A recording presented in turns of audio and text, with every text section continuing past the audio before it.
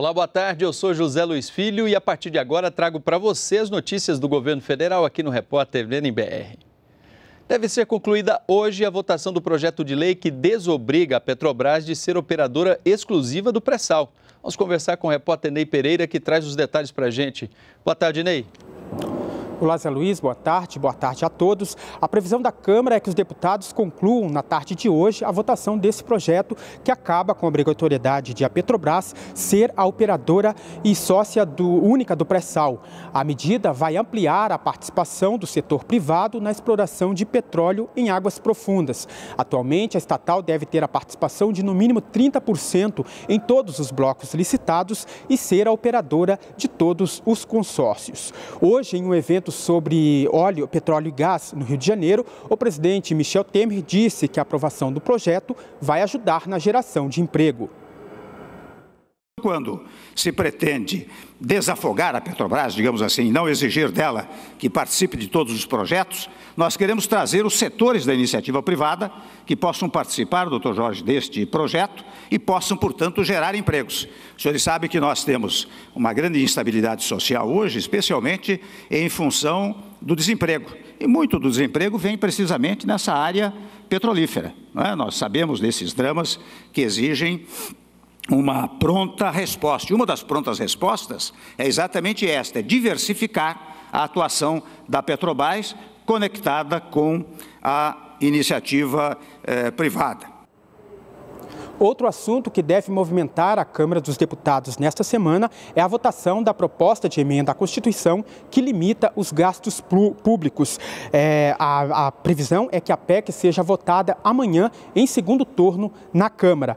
Pela proposta, os gastos da União não podem crescer mais do que a inflação do ano anterior. No Rio de Janeiro, o presidente Michel Temer também comentou sobre a PEC. Para ele, a medida é fundamental para o Brasil voltar a crescer.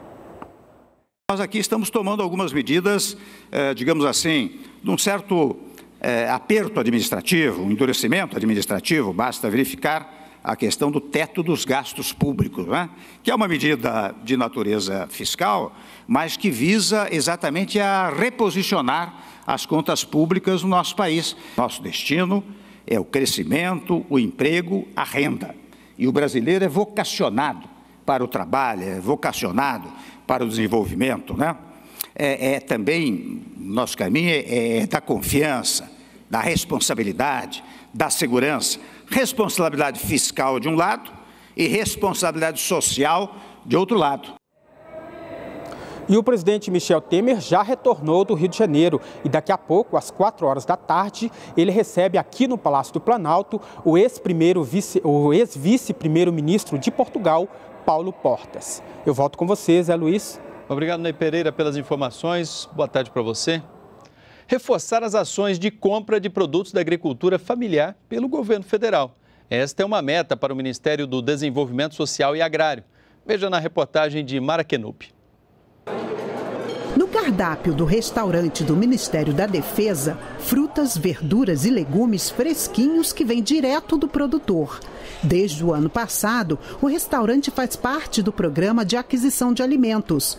O PAA garante mercado para a produção dos agricultores familiares e ajuda na regulação do preço. Até agora foram investidos no PAA 41 milhões e meio de reais em todo o país, mas esse volume vai aumentar.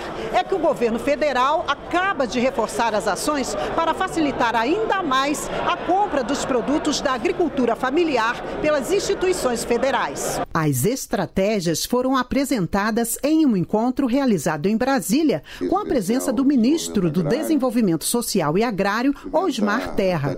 Agentes públicos, agricultores familiares e representantes de cooperativas também participaram. Vim expor aqui o café, que é das famílias cooperadas, e a nossa intenção é expor os nossos produtos. Hoje a gente já atende o mercado institucional, né, para o MDS, para o MDA, e hoje a gente quer apresentar o nosso produto aí também para as Forças Armadas.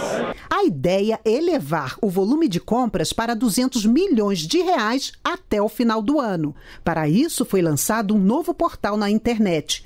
Tudo para facilitar as negociações de quem quer comprar com aquele que quer vender.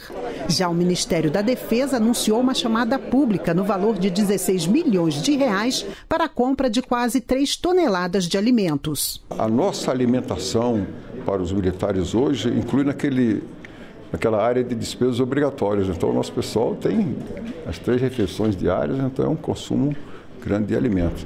Detalhe: alimento de alta qualidade, com a logística facilitada, fresco naquele alimento que vem empacotado de áreas distantes. Um agricultor familiar pode vender até 20 mil reais por ano para cada instituição.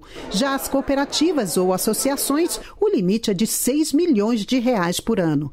As novas medidas abrem um mercado potencial de 2 bilhões e 700 milhões de reais em compras. Todos ganham porque o produto eh, chega de uma maneira mais rápida, é uma entrega direta ele chega é, com preço menor, ele é 20% em média menor né, do que o preço do comércio.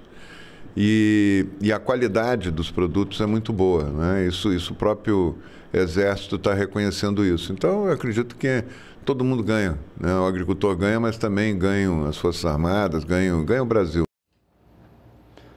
A EBC, Empresa Brasil de Comunicação, completa hoje nove anos. Formada pela TVNBR, TV Brasil, TV Brasil Internacional, Agência Brasil, Rádio Agência Nacional e mais oito emissoras de rádio, a EBC também é responsável pelos primeiros 25 minutos do programa A Voz do Brasil.